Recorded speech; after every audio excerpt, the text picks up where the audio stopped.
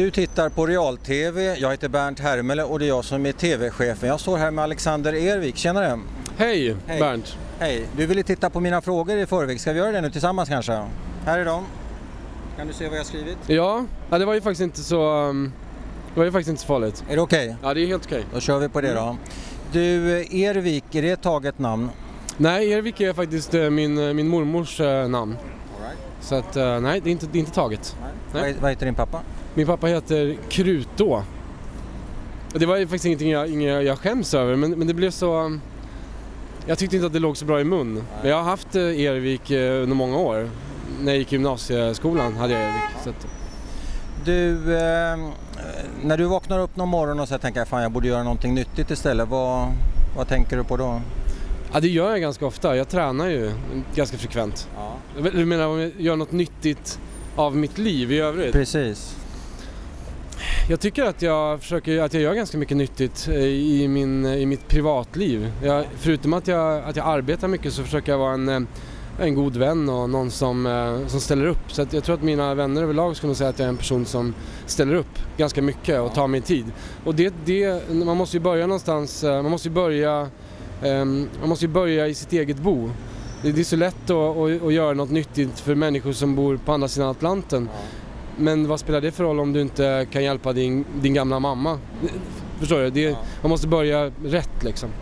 Sen, sen är det klart att jag ofta tänker på att jag skulle vilja göra någonting nyttigt och det tror jag kommer göra också utöver mitt jobb.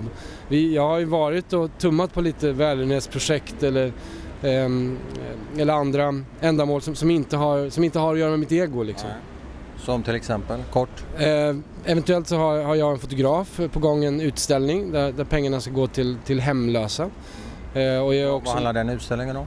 ehm, vad, förlåt, vad menar du? Vad handlar utställningen om? Utställning, det är en, en fotograf som, som, som eh, kommer ta bilder på, på hemlösa i Stockholm och eventuellt ska vi göra en bok av det. Så, att, så att jag har sådana planer. Du, hur kommer det sig att Finance har blivit eh, Sveriges största mingelsajt? Är, är det rätt sagt mingel? Det, mingelsajt i den bemärk- alltså är ju rätt i den bemärkelsen att det var så vi började men, men idag skulle jag nog säga att vi är lika mycket en blogg, en bloggportal. Och det är också um, um, eh, svaret på varför vi är så stora är ju för att vi har så extremt mycket bloggar. Och inte bara toppbloggare som jobbar på uppdrag av oss utan även bloggar ute i landet, helt vanliga människor som bloggar. Det är ju det som gör att vi kommer upp i de siffrorna vi gör. Katrin Zyto... Zytomierska. Zytomierska ja, är ju din toppbloggerska får man väl säga. Vad tycker du om hennes bögkommentarer? Ärligt talat. Jag tycker faktiskt eh, inte att det är så farligt. Jag är ju själv öppet gay och jag tyckte att det, att jag ska inte säga att jag tyckte det var jätteroligt, men det beror ju på vad man har för humor. Men jag tycker heller inte att det var så mycket att göra ett, ett stort väsen av.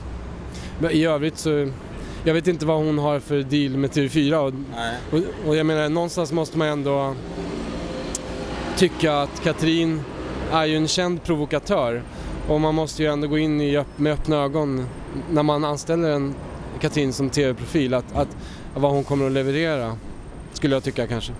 Vad är ditt största scoop?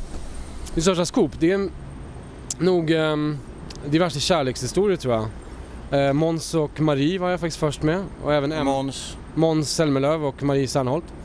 Tack. Även Emma Andersson och, och Zäta. Vad är ditt största scoop som du inte har skrivit då? Oj. det kan jag ju inte säga eftersom jag valde att inte publicera det. Men det är ganska, det är ganska mycket. Eh, mycket sånt där som, som, inte, som jag inte känner att jag är bekväm med. Eh, vi skriver väldigt sällan om skilsmässor till exempel. I princip aldrig. Eh, och många sådana har man ju, har man ju fått på sin, på sin, i sin hand genom åren. Du till slut, vem, vilken kändisjournalist, vem är Sveriges bästa kändisjournalist skulle jag fråga? Då skulle jag nog vilja säga jag tycker att Beatrice Birkel på Expressen tycker jag gör det väldigt, väldigt bra. Och, och med hjärta, vilket jag kan tycka att ibland saknas i den här industrin. Vi har dragit lite över tiden men till slut, vem vill du hälsa till? Jag vill hälsa till Katrin och säga stå på dig Katrin minuter kvar, vi ska göra en ava. Du tittar på Real-TV, det bullrar lite grann här i bakgrunden, hoppas att det hörs vad vi säger. Jag heter Bernt Hermele, det är jag som är TV-chefen.